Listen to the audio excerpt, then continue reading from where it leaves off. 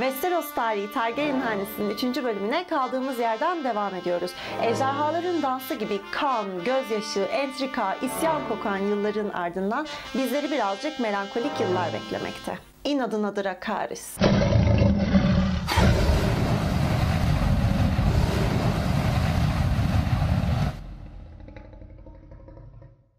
Üçüncü Egon'un tahta çıktığı fetihten sonra 131 yılıyla devam ediyoruz. Annesi ve dayısının ölümüyle sonuçlanan iç savaşın ardından daha 11 yaşındayken tahta çıkmak zorunda kalan Egon, daha küçüklüğünden itibaren oldukça sessiz ve içine kapanık bir çocuk olarak bilinmekteydi. Muhtemelen annesinin canlı canlı bir ejderha tarafından yakılıp yenildiğini gördüğü için hayatı boyunca her zaman depresif bir kral olmuştur. Egon çok konuşmayan, her zaman siyah giyen bir çocuk olarak bilinmekteydi ve aslında aslında birazcık da mecburiyetten kral olmuştu. Kral olduğunda da dayısının sağ kalan tek çocuğu olan Ceyhira ile evlenmişti. Fakat ikisi de evlendiklerinde çocuk olduğu için bu evlilik daha çok bir sembol olarak görülmeli. Çünkü yıllarca birbiriyle savaşan siyahlar ve yeşiller en sonunda bu evlilikle birleşmiş oldu. Üçüncü Egon tahta çıktığında henüz çocuk olduğu için iktidarının ilk 5 yılı vekiller ve kral eli tarafından idare edilir. Fakat 2 yıl sonra Ceyhira muhtemelen intihar ederek ölür. Bunun üzerine Aegon zamanında annesinin de yaptığı gibi Valerion ailesinden biriyle evlenir ve böylece kraliçe Rhaenyra olur. Ejderhaların dansı sırasında hatırlarsanız Prenses Rhaenyra iki oğlunu korumak için onları Essos'a yollamıştı ve başlarında da onlara göz kulak olması için büyük oğlunu yollamıştı. Fakat büyük oğlu ejderhası ile birlikte sulara gömülmüştü. Aegon ise bu karmaşadan yaralı bir şekilde kurtulmayı başarmış ve eve dönmüştü. Fakat diğer kardeşi Viserys ise maalesef maalesef o karmaşanın içerisinde kalmıştı.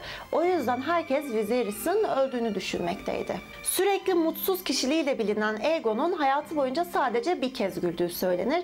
O da kardeşi Viserys'in aslında hayatta olduğunu öğrendiği andır. Peki Viserys nasıl bu karmaşa içerisinde hayatta kalmayı başarabilmişti? Targaryenlarda yeni bir bebek doğduğunda beşiğine bir ejderha yumurtası bırakma gibi bir gelenek vardı. Viserys de kaçarlarken yanında bu ejderha yumurtası bulunmaktaydı. Fakat bir abisi Westeros'a geri kaçan, diğeri ölen Viserys gemide yalnız kaldığında kimliğini saklamak için ejderha yumurtasını da saklar. Fakat gemideki bir kişi onun kimliğini yine de fark eder. Fakat Viserys'i öldürmez. Onu alarak Lys'lı zengin bir aile olan Roger'ların yanına bırakır. Viserys küçüklüğünden beri oldukça zeki bir çocuk olarak bilinmekteydi. Roger'ların yanında da aslında oldukça güzel vakit geçiriyor ve birazcık büyüdüğünde ailenin kızı olan Lara ile evlenir değerlendiriliyor. Çünkü Roger ailesi bir gün Viserys'in de tahta çıkabileceğini düşünmekteydi. Viserys karısıyla birlikte kralın şehrine döner ve abisi 3. Aegon zaten yıllardır kardeşini geride bıraktığı için büyük bir vicdan azabı ile yaşadığından kardeşini görür görmez onu bağrına basar ve ölene kadar da aslında 3. Aegon'un güvendiği tek kişinin kardeşi Viserys olduğu söylenir. Her ne kadar kral 3. Aegon olsa da aslında krallığı kardeşi Viserys ile birlikte yönetmektedir yönetmeye devam eder. Viserys ayrıca yanında ejderha yumurtasıyla dönmüştür fakat bu yumurta bir türlü çatlamaz. Bunun üzerine Aegon da Essos'tan 9 tane büyücü getirtir. Çünkü bakıyorlar ki artık ejderha doğal yollarla bir türlü çatlamıyor. En azından belki büyüyle açabiliriz yumurtayı diye düşünüyorlar. Fakat ne kadar uğraşırlarsa uğraşsınlar maalesef bunda başarısız oluyorlar. Üçüncü Aegon her daim melankolik bir yapıda olduğu için krallığın pek çok işini aslında kardeşi kardeşi Viserys üstlenmiştir. Viserys'in de bu arada iki oğlu bir kızı olur. Aegon, Aemon ve Nerys. Fakat karısı bir türlü kralın şehrinde yaşamaya alışamadığı için bir süre sonra kendi evine döner. Viserys karısını çok sevdiği için karısının onu bu şekilde terk etmesinin ardından daha sert mizaçlı biri olduğu söylenir. Aegon'un ise Daeron ve Baelor adında iki tane oğlu Dayna, Reyna ve Elena adlı üç kızı olur. Fakat Aegon bir türlü yüzü gülmeyen, sık sık kendisini odasına kapatan bir kral olmaya devam eder. 36 yaşında hayata gözlerini yumduğunda muhtemelen bu melankolik ruh hali onu hasta etmişti. Zaten çoğu kişi onun olduğundan çok daha yaşlı gözüktüğünü düşünmekteydi. 3. Aegon'un ölümünün ardından 14 yaşındaki oğlu genç ejderha olarak bilinen Daeron tahta çıkar. Babasının aksine oldukça özgüveni yüksek bir Deloanlıydı. Zaten Fatih Aegon'u örnek aldı kaldığı söylenirdi. Çünkü tahta çıktığında Fatih Egon'un tacını takmıştı. Ayrıca kral eli olan amcası Viserys de her zaman yeğeninin yanında olmuştu. Genç kral Fatih Egon'u biraz fazla örnek almış olmalı ki Dorne'u fethetmeye karar verir. Çünkü Dorne'un fethedilememiş olması onun gözünde hanedanın yarım kalmış en büyük işidir.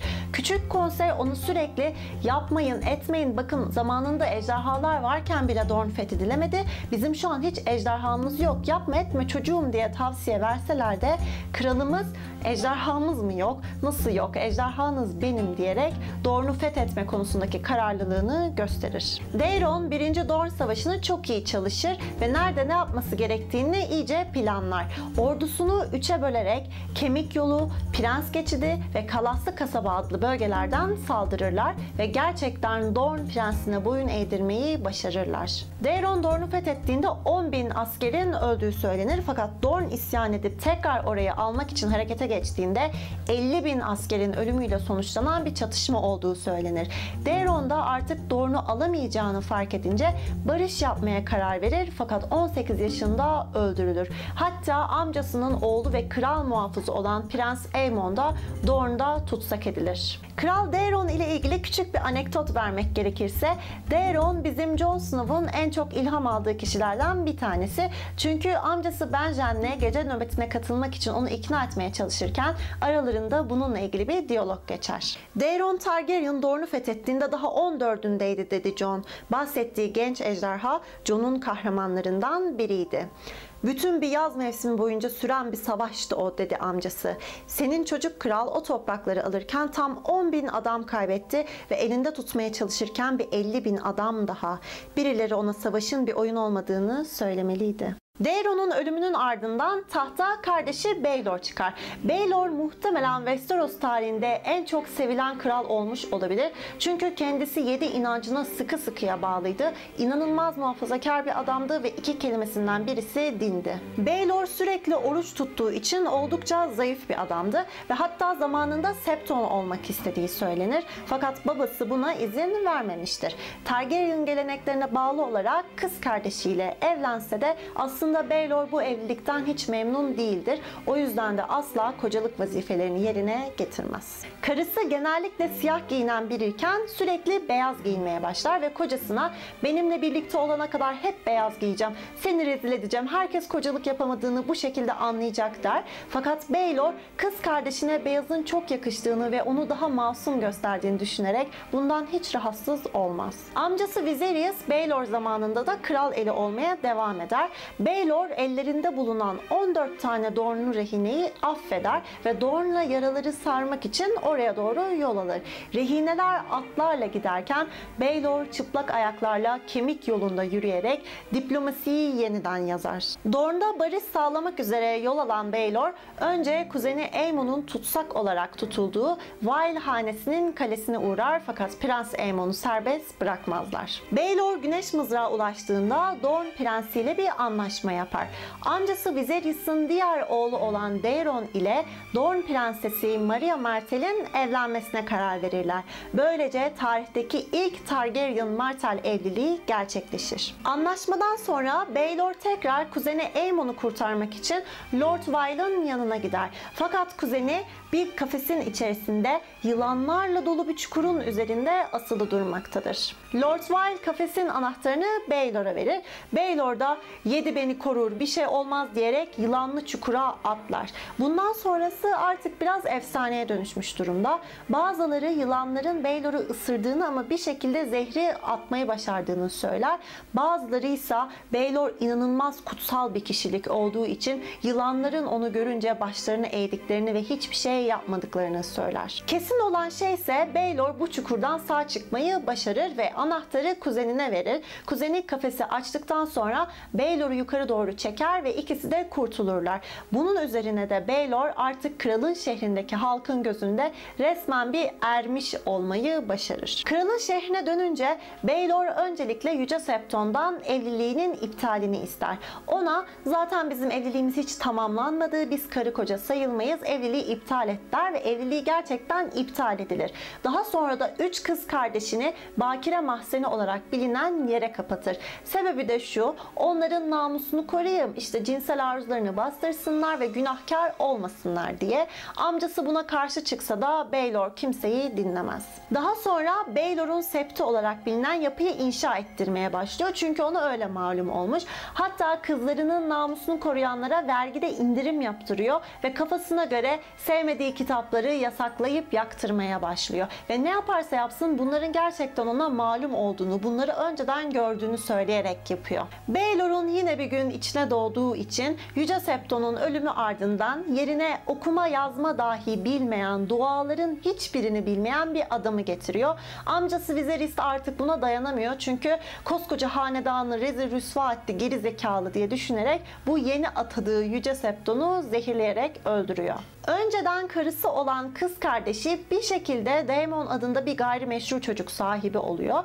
Bunun üzerine de Baylor kendisini oruca veriyor. Ve 40 gün boyunca ekmek ve su dışında hiçbir şey yemiyor. Artık 41. güne geldiğinde Baylor ölüm döşeğinde buluyor kendisini ve kimse artık o aşamadan sonra onu kurtaramıyor. Çünkü baya baya kendisini aç bırakarak kendi ölümüne sebep oluyor. Baylor'un ölümüyle ilgili bazı söylentiler de yok değil. Bazıları amcası Viserys'in artık bu bağnaz yiyenden çok sıkıldığını ve onu zehirleyerek öldürdüğünü söyler. Fakat adam 40 gün yememiş içmemiş yani tabii ki de ölecek. Her neyse bu söylenti bile zaten Baylor'a aşık olan halkın gözünde Viserys'i kötü adam yapar ve Viserys bir türlü halk tarafından sevilmez. İki yeğeninin de erkek çocuğu olmadığı için amca Viserys veya artık ikinci Viserys tahta çıkmak zorunda kalır. Aslında bazıları yeğeni Danya'yı da desteklemiştir fakat uzun bir süre kilitli tutulduğu için hem de çoğu kişi Prenses Rhaenyra olayını hala atlatamadığı için çok fazla bir destek bulamaz. İkinci Viserys'in iktidarı bir yıldan birazcık daha uzun sürer fakat bu kısa sürede bile yasalarda pek çok reform gerçekleştirir ve ticareti arttırmak için girişimleri olur. Hatta çoğu kişi Viserys'in çok akıllı ve bilge birisi olduğunu, eğer birazcık daha uzun yaşayabilseydi de Westeros'un en büyük krallarından biri olacağını düşünür. Fakat aniden hastalanarak ölür. Viserys'in aniden ölümünün ardından yerine oğlu 4. Aegon geçecektir. Fakat bu aniden ölümü bazıları oğlunun babasını zehirlediği şeklinde de yorumlar. Biraz durgun, biraz melankolik, biraz depresif olan bu yılların ardından Aegon ile birlikte Westeros'ta yine hareketli yıllar göreceğiz. Ama şimdilik bu kadar. Taht için yeniden isyan bayraklarının kalkacağı bir sonraki videoda görüşmek üzere. Hoşçakalın. You.